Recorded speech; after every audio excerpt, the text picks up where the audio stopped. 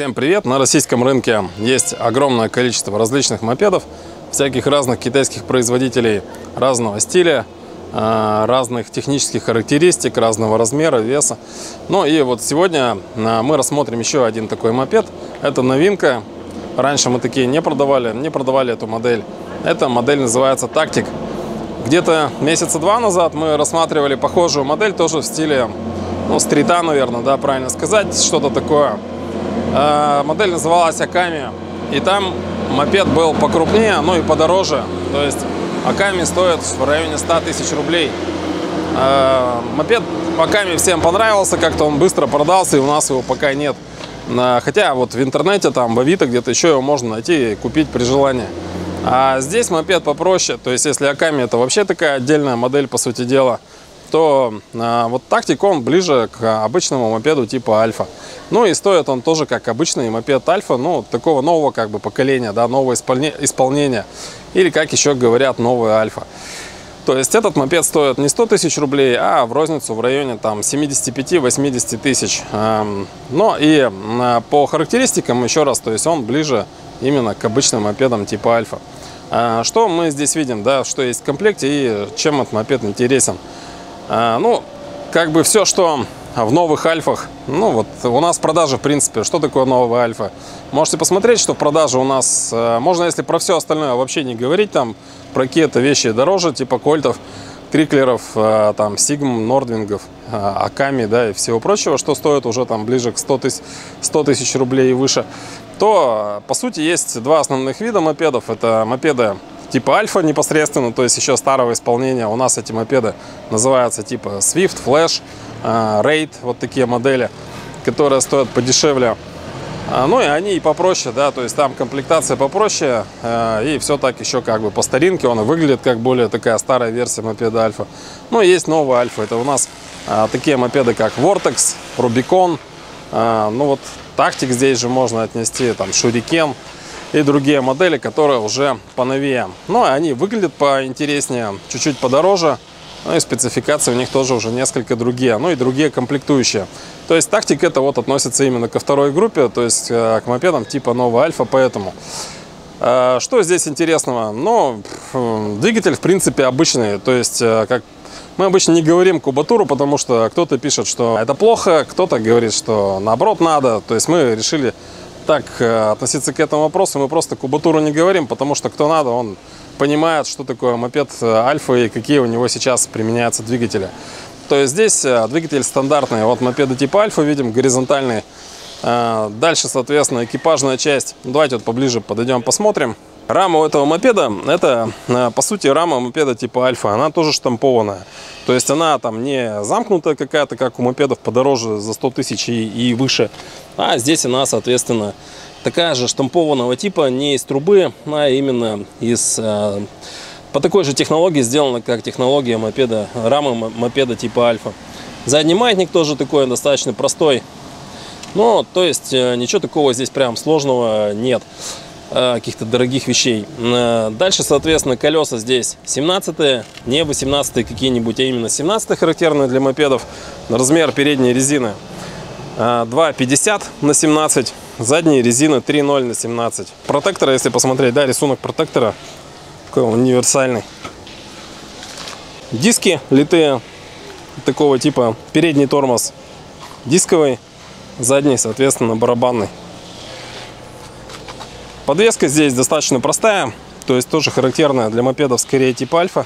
Передняя вилка телескопическая, ну тут диаметр нечем, к сожалению, померить. Ну вот такая обычная вилка, в принципе, мопеда типа альфа. Задние амортизаторы чуть побогаче, то есть здесь тоже спринг-ин спринг, как говорят в Индии.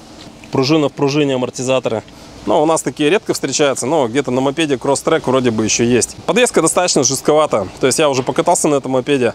Э, вес у меня большой, больше 100 килограмм, 130. И, э, то есть для меня этот мопед, конечно, несколько маловат. И подвеска у него жестковата. Ездить можно, но э, есть мопеды и помягче у нас. И, соответственно, тут кому что нравится. Дальше, если посмотреть экипажную часть, то, например, вот это двухуровневое седло, оно напоминает седло мопедов типа Vortex у нас. И оно уже встречалось. Ну, то есть есть свои плюсы и минусы, да. То есть, с одной стороны, плоское седло, как у обычного мопеда типа Альфа, может быть удобно с точки зрения перевозки э, второго человека или багажа. Но зато двухуровневое седло, оно удобнее с точки зрения поддержки пятой точки. То есть как-то с него, соответственно, не соскальзываешь. Дальше тут много такого мото мотоциклетного типа. Э, используется комплектующие. То есть вот эта крышка бензобака. Вообще сам бензобак уже такого мотоциклетного, скорее типа, а не мопедного. Объем его сложно сказать, но думаю, что литров 15 здесь есть. То есть бензобак достаточно крупный по сравнению с обычными мопедами типа Альфа.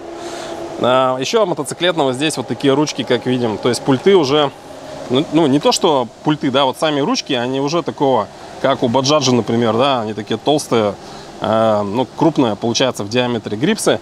Ну, и пульты тоже мотоциклетного типа, если посмотреть. То есть это уже не мопедного типа пульты, а скорее разновидность легких мотоциклов типа Yamaha UBR. Там такие вот применяются пульты. Здесь э, светодиодная панель. Давайте, здесь аккумулятор не подключен. Стоит он у нас на центральной подставке. Здесь, конечно, как и у других мопедов Альфа, центральная боковая подставка. Поэтому мы его запустим, посмотрим на панель приборов. Здесь все стартует очень легко. Это горизонтальный двигатель обычный типа Альфа. Тут даже, хоть сейчас и прохладно, может быть 15 градусов, мы даже подсос вот в этот раз не используем, потому что он и так хорошо заводится, хотя он уже у нас давненько стоит и остыл. Так, проверим старт-стоп двигатель.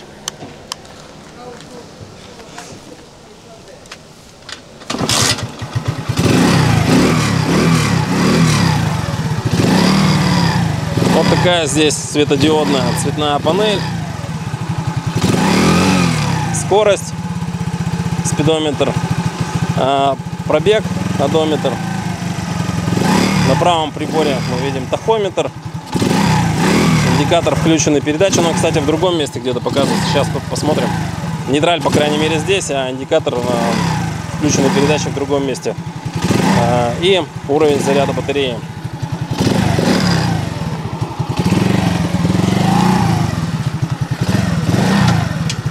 Вот мы видим, где включилась передача. Светодиодные панели, они, конечно, вызывают вопрос с точки зрения, как их, насколько их хорошо видно. То есть вот сейчас аккумулятор не подключен, но видно эту панель очень хорошо. И сейчас, э, может быть, пасмурно еще, да, то есть на солнце э, надо бы посмотреть, конечно, насколько лучше или хуже ее видно. Но если, например, включить освещение, то есть вот э, включить габариты, то уже, соответственно, яркость меняется и видно не так хорошо приборную панель. Но при подключенном аккумуляторе, скорее всего, все будет, конечно, по-другому, несколько получше. Двигатель, как я уже говорил, здесь типичный а, для мопеда типа Альфа. Коробка передач круговая, то есть здесь тоже 4 передачи. И после четвертой вниз, все передачи включаются вниз, и после четвертой можно включить нейтраль и потом снова первую передачу. По эргономике, видите, то есть это все-таки мопед небольшой. Видно, что он скорее на средний рост, типа метр семьдесят пять, ну, как и большинство мопедов типа Альфа. Бывают исключения на самом деле, но здесь э, вот мопед, он покрупнее, конечно, покрупнее он именно по расстоянию, на котором вот э, расположен руль. Э, по сравнению, например, с мопедами самыми простыми, типа Swift или Flash. Но с более крупными версиями, типа Кольт, например, Триклер или еще крупнее, он все-таки относится скорее именно к альфе. То есть мопед не, небольшой. И для роста там выше метра восемьдесят уже, скорее всего, будет маловат. То есть надо именно мерить и понимать, что, что вам удобнее. Можно обратить внимание вот на все это изобилие, привязанное сюда. То есть это все входит в комплект поставки. Такого рода дуги с карманами мы уже видели. Где-то они у нас на мопеде Raid уже есть. Кто смотрел видеоролики в мае, там э, Петросяны показывали, как в эти кармашки прекрасно входит э, горючее, скажем так. Первомайское горючее. Теперь, коллега, можно попробовать, смотрите, каким образом. 0,5.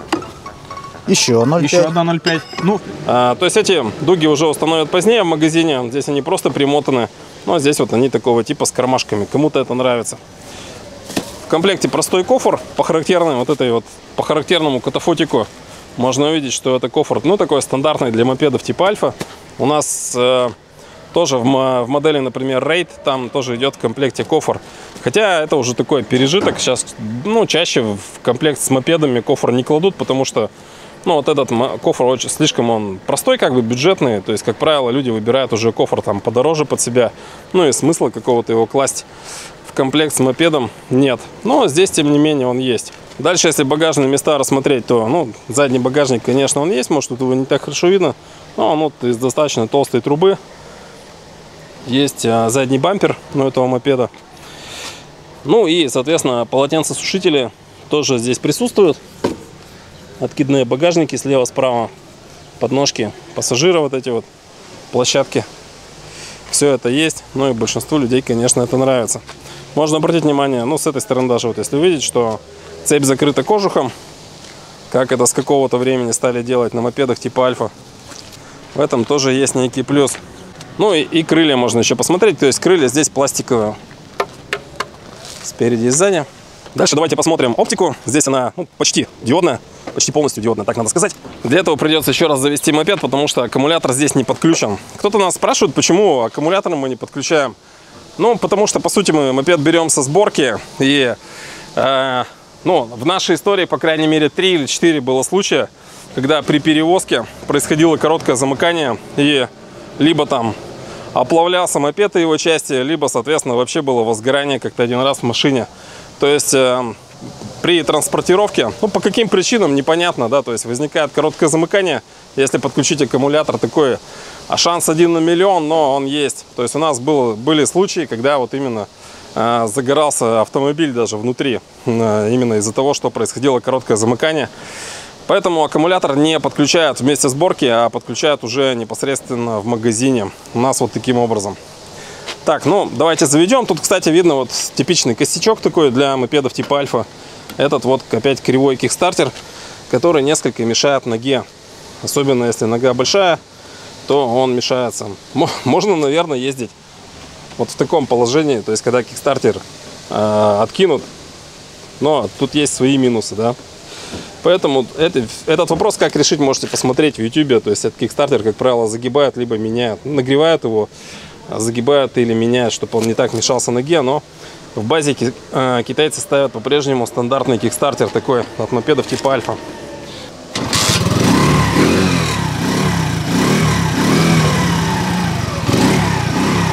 Давайте посмотрим оптику. Габаритные огни. Ближний свет дальний свет, поворотники.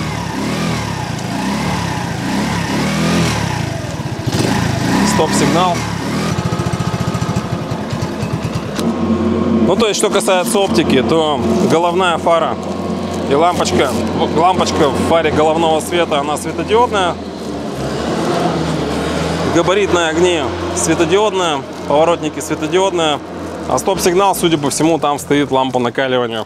Ну, то есть оптика такая комбинированная, по сути дела. Вкратце скажем небольшое заключение. Мопед э, этот впервые к нам поступил в продажу. Это мопед Тактик. У него есть э, три цвета. Черный вот такой, синий и, кажется, серый. Цена его примерно 80 тысяч рублей. Э, то есть по цене он сопоставим с мопедами типа новая Альфа.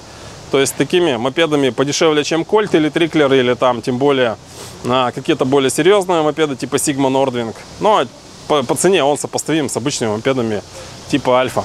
По своему ви внешнему виду и по комплектации, ну скорее по внешнему виду, это такая новинка тоже, то есть раньше похожих моделей, ну они были на самом деле, то есть у нас тоже есть модель, например, типа Rubicon в продаже.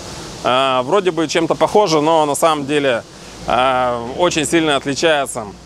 А, то есть вот такого типа более спортивных моделей как-то в продаже у нас а, не было, наверное, до этого момента. То есть э, в этом году поступили их две. То есть вот тактики и Аками. Аками, конечно, посерьезнее. А, но и, но, но и спросом пользуются побольше, несмотря на более высокую цену. То есть тактик вот попроще. Есть какие-то здесь, конечно, нововведения. То есть это, например, уже бензобак мотоциклетного типа пульты, вообще руль, в принципе, мотоциклетного типа. Есть передний дисковый тормоз, своеобразный здесь. А, диски колесные. Ну, а во всем в остальном, в принципе, по, например, технологии изготовления рамы, по подвеске, это скорее мопед ближе, близкий к мопедам типа а, Альфа. Поэтому по ростовке нельзя сказать, что он тоже на высоких людей, то есть скорее на людей ростом до а, метра восьмидесяти или в идеале даже 175 э, и менее. Кто хочет, соответственно, попробовать этот мопед посмотреть, то есть надо его а, покататься на нем, почувствовать эту подвеску, его геометрию, ну и или а, как бы остановиться в этом варианте, или посмотреть что-то еще, если вам больше подходят мопеды покрупнее или, напри- например, а, наоборот, попроще и подешевле.